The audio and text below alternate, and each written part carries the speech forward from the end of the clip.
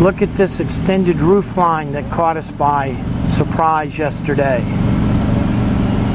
We came out at low tide under it and we returned at high tide. It was at eye level. Beware, look high and low when you're docking your boat.